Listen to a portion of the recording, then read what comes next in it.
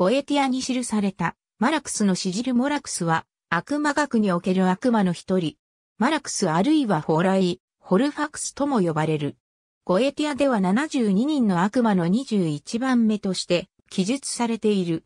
大いなる伯爵にして総裁であり、36の軍団を率いている。大王義書によれば、サルガタナスの支配下にあるという。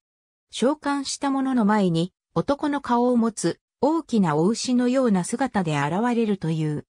また、天文学やその他の教養学に精通させ、使い魔を与え、薬草や宝石が持つ力についての知識を与える能力がある。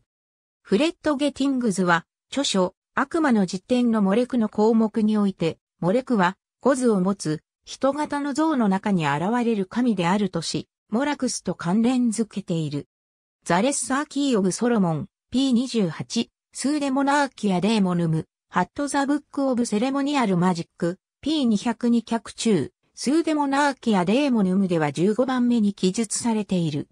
アレースター・クローリーとマグレガー・メーザースが編纂した版のゴエティアでは、率いているのは30の軍団とされる。 The Lesser Key of Solomon、P28、ザ・ブック・オブ・セレモニアル・マジック、P188、悪魔の時点では、お牛の頭を持つ人間の姿としている。P407、悪魔の時点 P409。ありがとうございます。